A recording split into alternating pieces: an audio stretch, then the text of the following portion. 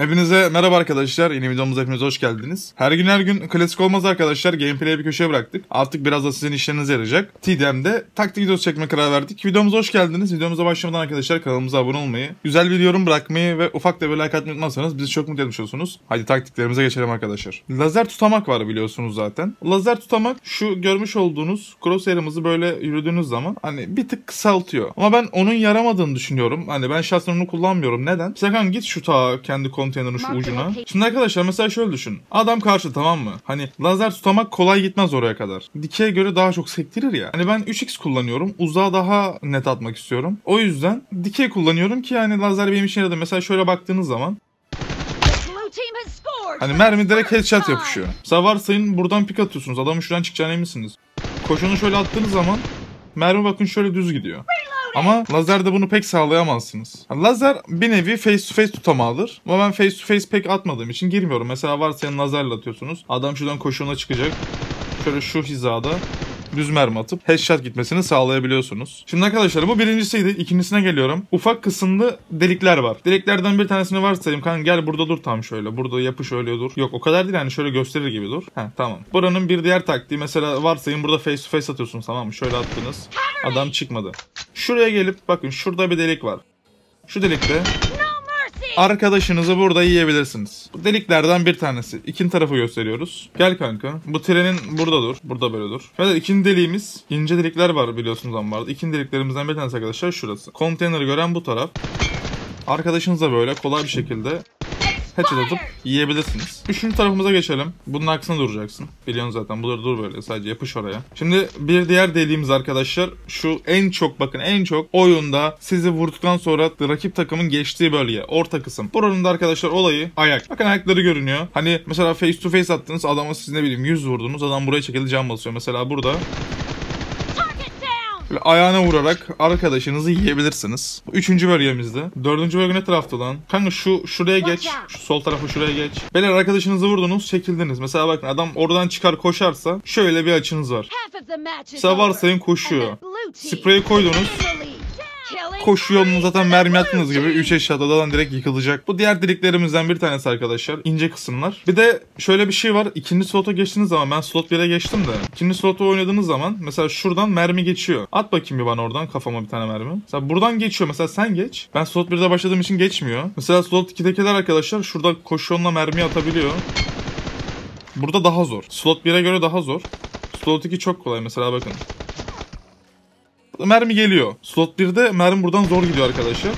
Ama slot 2'de bütün mermiler buradan geçiyor. O yüzden genellikle vs atarken slot 2'yi tercih edin. Hani slot 2'ye siz geçin. Hani hedefiniz kazanmaksa ya da ne bileyim hani böyle düşman gibi bir insan varsa karşınızda. Her zaman slot 2'yi siz tercih edin. Şimdi canlar face to face'in önemine geçeceğiz. Face to face nedir nasıl oynanır? Şimdi gel kanka sana şey göstereceğim. Ee, gel yanıma. Buradan şuradan bana doğru koşacaksın tamam mı? Ben iki kere sıkacağım buradan çıkacağım bana doğru koşacaksın tamam mı? Şimdi arkadaşlar geldik face to face kısmına. Daha sonra face to face değil de hani açı bekleme diyelim. Face to face değil burası çünkü çünkü. Şimdi sizin açı çekmeniz gereken bölgeler var. Nedir olay? Şimdi bu oyun görmüş olduğunuz gibi arkadaşlar sağ tarafa daha yakın. Bakın endkeme bakın. Şu sağ taraf daha yakın değil mi? Hani bu taraf daha fazla açı var. Bu taraf daha az açı var. Sizin her zaman oynarken adamı kendi sağ tarafınıza çekmeniz lazım. Sol tarafın açısı daha kısa. Şimdi sıkacağız. Adam üstümüze koşacak. Attık arkadaşlar. Açımıza koşuyor. Direkt yedik. Böyle. Hani dilerseniz kendiniz hani böyle ne bileyim joystick de yapabilirsiniz ama hani adamın koşu hizalarında asla joystick kullanmayın ki mesela adam buradayken siz buradasınız. Adamın buraya mermi atma olasılığı daha fazla. Sizin buradayken garanti bitiriciliğe ihtiyacınız var. O yüzden koşu her zaman lazer olur, holo olur ya da ne bileyim iron sight olur şöyle. Merminizi her zaman şöyle koşu hizasına doğru atın. 3 eşyatla adamı hızlı bir şekilde bitirin. Şimdi joystick olayına gelelim canlar. Şimdi joystick kaçta kullanmalı muhabbeti var. Ne bileyim biri joystick çok büyük kullanıyor. Biri joystick hiç kullanmıyor mesela. Joystick yok. Ya da şöyle kocaman ya da hiç yok. Yukarıya falan atmışlar. Joystick'in şu hızlı koşma tuşunu Mesela benimkisi yukarıda.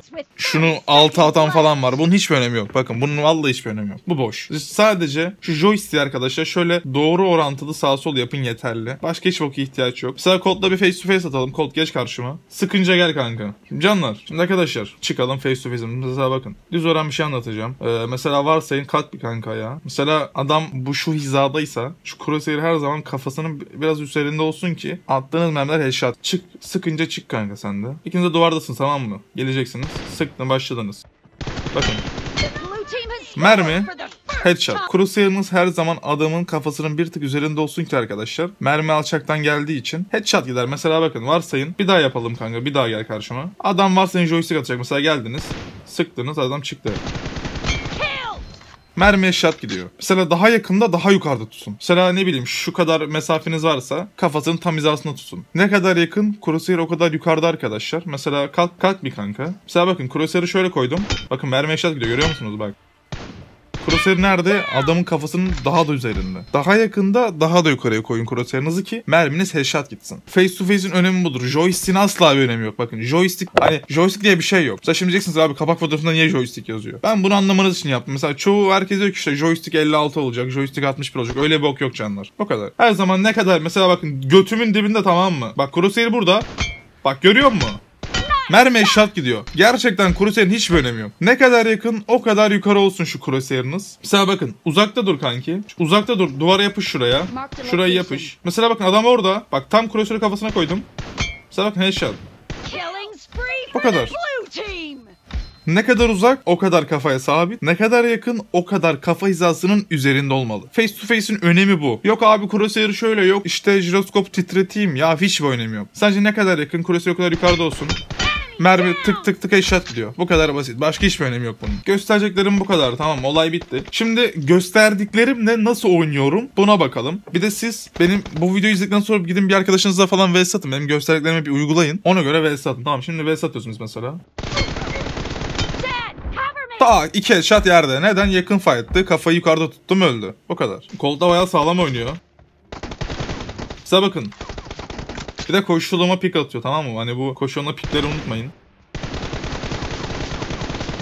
İnce fight'lar da böyle çok dönüyor mesela.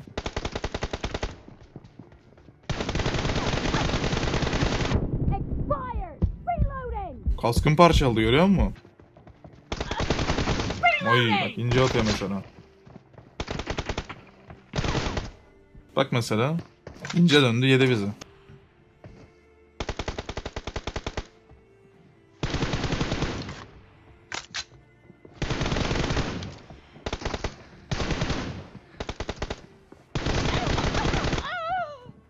Yüksek fight sıkıntılı neden? Ben niye bunu yaptım bilmiyorum. Mesela yüksekteyken şöyle aşağı bakıyorsunuz ya kendi karakteriniz görünüyor.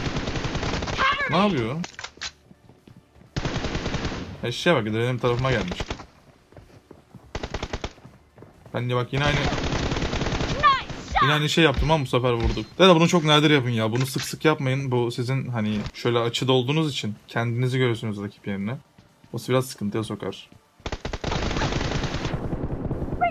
Kısa sağdan pikleyecek.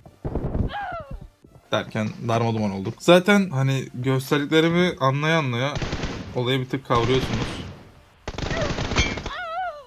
İkimiz de pik attık da ben kafamı erken çektim.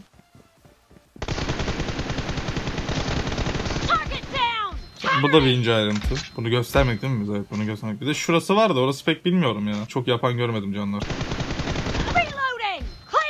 Güzel aldık.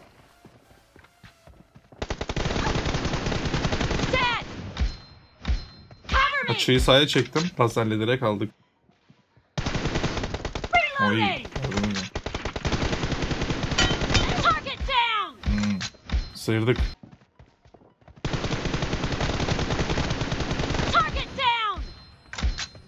Şimdi şöyle bir şey var. Hani bizimkiler hep ince pikle oynuyor. İşte Colt olsun klanındaki olsun hep ince pikle oynuyor. O yüzden ben de lazer kullanıyorum. Ha böyle. Lazer kullanıyorum ama rakipleri bilmiyorum. Mesela kendi rakibiniz sizin full face to face atıp dürbünsüz crosshair oynuyordur.